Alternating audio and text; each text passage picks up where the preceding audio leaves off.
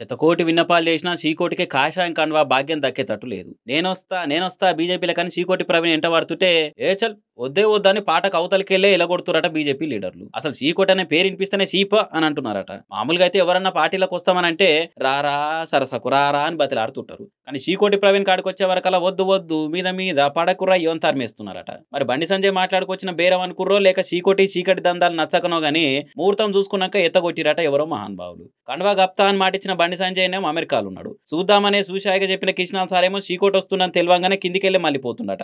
ఇక ఈటల సారేమో నాకెందుకు వచ్చిన లొల్లి అనుకొని ఇంటెనకెళ్ళే దుంకేసి పోతుండట భలే గమ్మతుంది కదా ముచ్చట. అసలు గిట్ల అవుతుందని సీకోటి సీకట్లా కూడా అనుకుని ఉండకపోయి ఉండొచ్చు. రాజకీయ పార్టీలు చేరికవుడు రాజకీయం చేసుడు అంటే క్యాసిన్ ఆడినంత క్యాజువల్గా ఉంటది అనుకున్నాడో ఏమో కానీ స్టార్టింగ్లోనే క్యాసిన్ కింగ్ కంగు తినడనే ప్రచారం జరుగుతున్నది. పార్టీలకు వస్తా అని బతిరాయనకుండా వద్దొద్దని దూరం దూరం పోతుంటే మనసు నొచ్చుకున్న సీకోటి ప్రవీణ్ సార్ చిర్రు బుర్రలు ఆడుతున్నాడు. అసలు నా ప్రతాపం ఏందో చూపిస్తే రాగుర్రి అని సవాల్ చేస్తున్నట. కమలం పార్టీని కంట్ల పెట్టుకుండాట.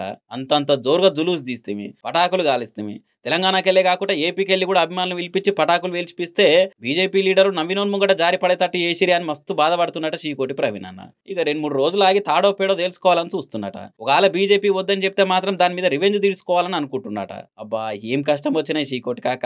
పాలిటిక్స్ అంటే పక్క దేశంలో ఆడిపించే క్యాష్ను ఆట అనుకున్నావా అని ఇక్కడ ఉండే రాజకీయాలు కథలు కార్ఖానాలు మామూలుగా ఉండయే.